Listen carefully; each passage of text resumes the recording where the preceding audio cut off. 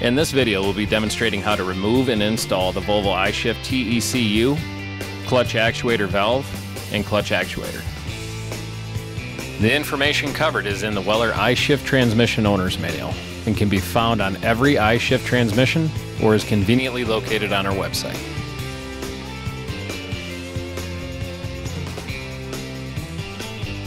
Disconnect the air supply hose and wire harness from the TECU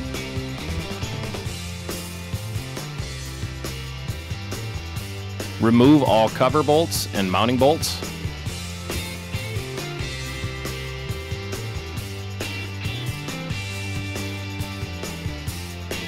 Lift the back of the TECU from the lower control housing to gain access to the ribbon cable. Damage to the ribbon cable will occur if the top cover slides forward or is lifted too high while disconnecting the cable. Unbolt the valve and disconnect the position sensor wiring.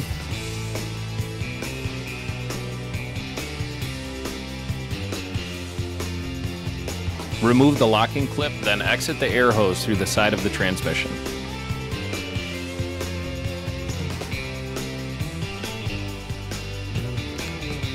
Unbolt and remove the clutch actuator.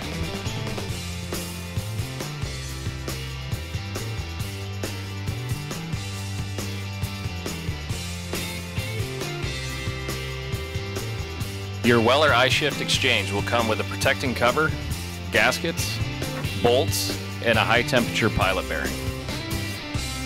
Verify the two solenoid valve seals are correctly seated. Install the new O-ring into the lower control housing. Align the top cover gasket, then position the TECU and connect the ribbon cable. Again, damage to the cable will occur if the top cover slides forward or is lifted too high while connecting the ribbon.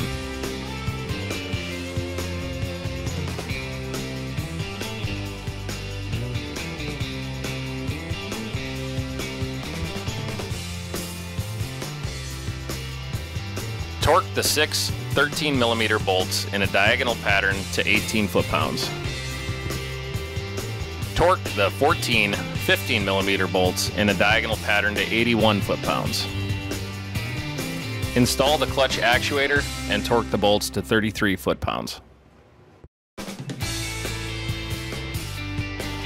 Replace the two O-rings on the clutch actuator air hose.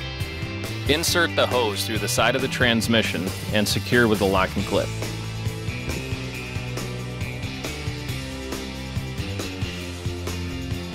Verify the clutch valve O-rings are seated and free of debris. Connect the position sensor wiring. Install the three valve mounting bolts and torque to 15 foot-pounds. Connect the wire harness to the TECU. An audible click will be heard verifying the harness is properly secured. Install the air supply hose to the valve in the TECU. To assist with transmission installation, you will need to compress the clutch actuator. First, loosen the clutch valve service plug. Then firmly compress the clutch actuator, holding in place while retightening the service plug. After installation, there are two reset functions that need to be performed. Using the Volvo Premium Tech tool, perform a clutch calibration and a gear relearn. If you have any questions, refer to the iShift Owner's Manual. Visit our website at www.wellertruck.com.